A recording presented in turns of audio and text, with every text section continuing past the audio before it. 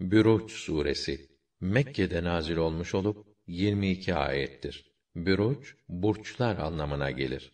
Rahman ve Rahim olan Allah'ın adıyla. Burçlarla süslü göğe, geleceği vaad olunan kıyamet gününe, şahid ile meşhuda kasem ederim ki tıpkı kahrolası ashab-ı Uhdud'un o tutuşturulmuş ateşte dolu hendeyi hazırlayanların melun oldukları gibi hani onlar ateşin başında oturur müminlere yaptıklarını acımasızca seyrederlerdi.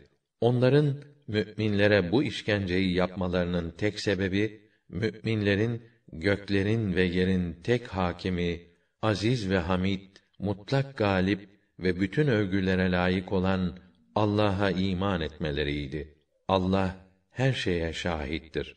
Mümin erkeklere ve mümin kadınlara işkence edip de sonra tövbe etmeyenler var ya, işte onlara cehennem azabı var, yangın azabı var. İman edip makbul ve güzel işler yapanlara ise içinden ırmaklar akan cennetler var. İşte en büyük başarı, en büyük mutluluk budur. Senin Rabbinin darbesi çok müthiştir. O ilkin yaratır, sonra öldürüp tekrar diriltir. O gafurdur, mağfireti boldur, veduttur, kullarını sever, onlar tarafından da sevilir. O arş sahibidir, şanı pek yücedir, dilediği her şeyi yapar.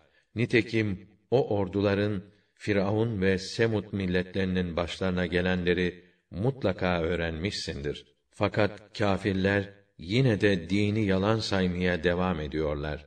Ama ne yaparlarsa yapsınlar, Allah'ın hükmünden kaçamazlar. Zira Allah ilmi ve kudretiyle onları arkalarından kuşatır. Hayır, hayır. Kur'an onların iddia ettikleri gibi beşer sözü değildir. O levh-i mahfuzda olan pek şerefli bir Kur'an'dır.